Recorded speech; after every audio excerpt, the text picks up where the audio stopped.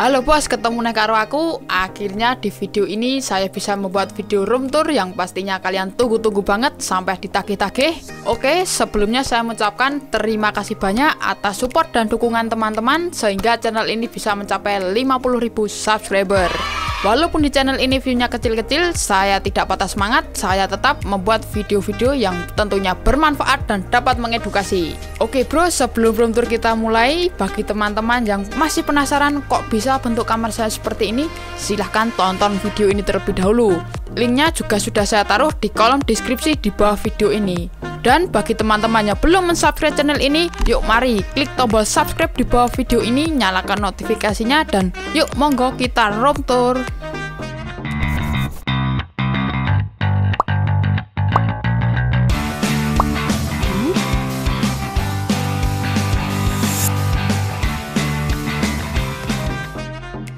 Oke, yang pertama saya ingin menunjukkan pintu kamar saya yang sedikit unik ini. Karena konsep kamar ini adalah memanfaatkan lahan sempit, jadi saya menggunakan pintu model seperti ini karena tidak memakan banyak ruang. Bagi teman-teman yang tertarik untuk membuat pintu model seperti ini, teman-teman bisa membeli rel atasnya ini di toko bangunan. Oke next, ketika masuk kamar langsung disambut dengan rak pipa paralon yang kita buat kemarin. Ya, ini adalah rak kardus dan rak sepatu saya. Lanjut lagi, kita akan mereview lantai yang bawah terlebih dahulu, baru nanti ke lantai atas, oke? Okay? Oke, di sisi ini saya gunakan untuk memasang rak-rak yang sudah saya buat. Rak-rak ini hanya saya gunakan untuk hiasan saja, tidak untuk menaruh barang karena saya juga bingung untuk menaruh apa karena barang saya sedikit, tidak banyak, jadi hanya saya gunakan untuk hiasan saja ke bawah dan yang bawah ini adalah kotak peralatan saya. Hampir semua alat yang saya butuhkan untuk membuat kerajinan saya simpan di sini.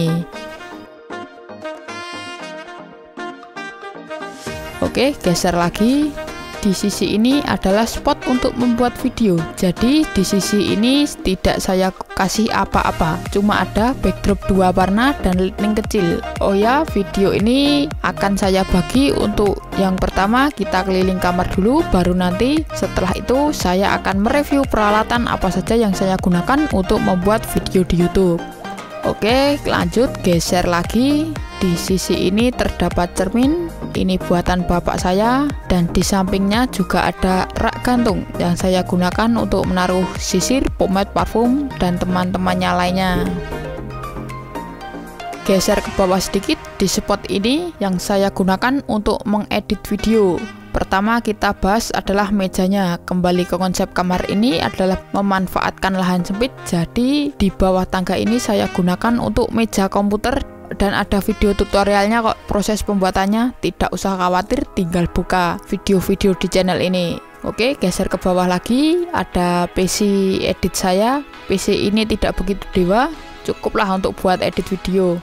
Dan tidak saya tutup casingnya karena sekali komputer ini hidup bisa sampai 2-3 hari lebih gak mati. Jadi agar tidak overhead saya cukup buka tutup casingnya lumayan sedikit membantu Oke, kembali ke atas ada monitor yang saya gunakan. Monitor yang saya gunakan ini sebenarnya adalah televisi, jadi kalau bosan edit bisa nonton TV dulu. Dan ini saya menggunakan mic condenser BM800 untuk merekam audio suara saya di channel ini.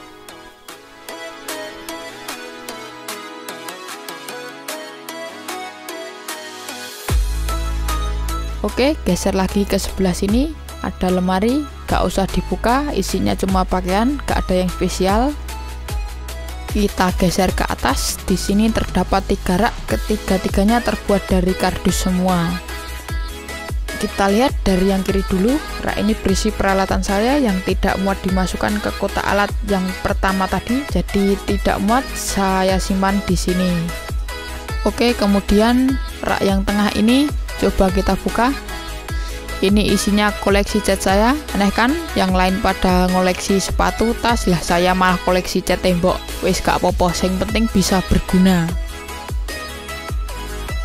Oke, dan yang ini rak yang paling kanan, tujuan pertama saya membuat rak ini yaitu untuk menyimpan sepatu. Akan tetapi saking banyaknya peralatan, jadi saya alih-fungsikan untuk tempat menaruh alat kelistrikan seperti cadangan lampu dan perkabelan.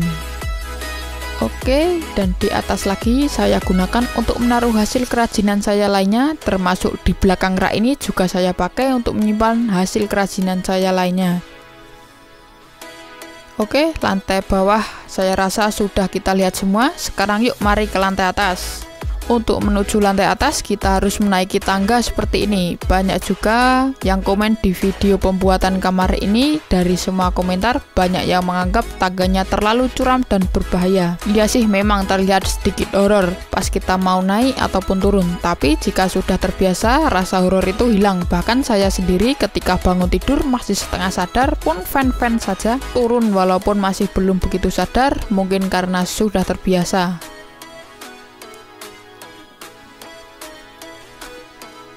Oke, dan ini dia di lantai atas cuma ada kasur saya.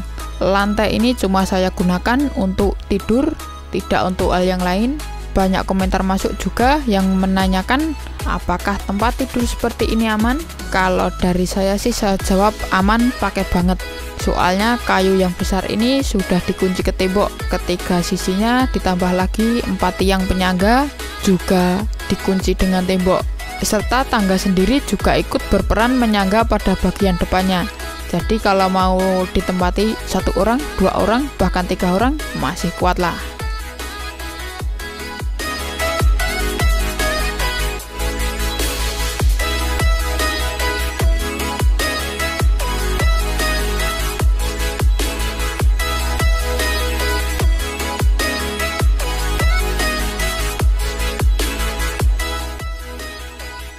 Oke, kita sudah berkeliling ke seluruh bagian kamar ini. Selanjutnya saya akan mereview alat-alat apa saja yang saya gunakan untuk membuat video. Yuk turun ke bawah lagi. Oke, untuk peralatan pertama yang akan saya review adalah backdrop atau background ini. Untuk memakainya pun cukup simpel, kita tinggal menarik ke bawah salah satu warna yang akan kita inginkan seperti ini.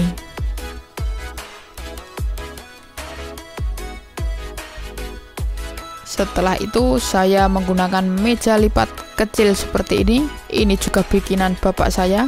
Jadi temanya di rumah saya itu serba DIY setelah itu mejanya saya beri alas warna untuk background foto produk seperti ini. Saya punya dua warna. Yang sering saya pakai yang abu-abu ini Oke next. Untuk kamera saya menggunakan Canon EOS 1300D yang saya syuting boxnya saja karena kameranya saya buat ambil gambar. Saya sangat berterima kasih kepada kedua orang tua saya karena telah mensupport saya sampai dibelikan kamera ini kurang lebih satu tahun yang lalu Sekali lagi, matur suwun Pak Bu, anakmu melebu YouTube dan saya juga berterima kasih atas support teman-teman yang telah mensubscribe channel ini sampai bisa sejauh ini. Terima kasih, I love you guys. Oke, lanjut. Properti sudah, kamera sudah, dan ini yang paling penting yaitu lighting Oke, lighting saya ini bikinan sendiri dari kardus. Untuk lampunya saya menggunakan Philips LED yang 8 watt, tidak di endorse loh ya.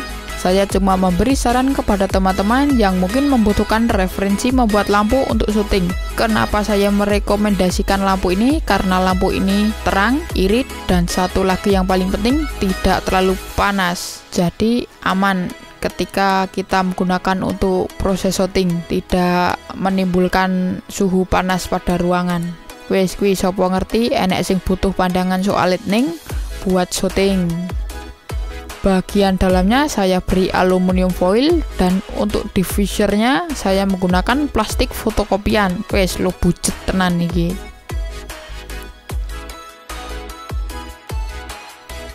Oke, sekarang saya akan menunjukkan cara kerja lighting kekinian punya saya ini. Untuk standnya sendiri, saya menggunakan tongsis atau tongkat narsis. Ya, saya gantung di langit-langit seperti ini. Untuk kabel bisa kita buat gulungan seperti ini, mau dipanjangkan tinggal ditarik atau digulung untuk memendekkan. Cara membuatnya pun sama dengan di dalam video trik gulungan earphone yang saya buat kemarin.